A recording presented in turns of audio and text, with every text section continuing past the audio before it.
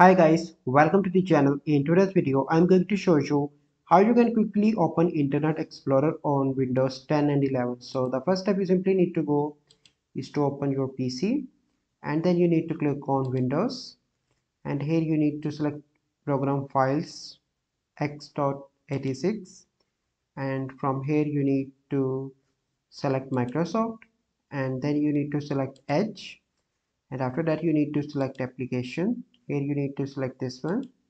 And after that you need to select the first option. And you simply need to delete all. And here you need to click on delete and click on yes. Once you done that your option and you can see that you are now able to quickly open internet explorer on windows 10 and 11 so i hope you find this video helpful. If you find this video helpful must like this video subscribe to our youtube channel for future videos. We'll see you in the next video thank you. Have a good day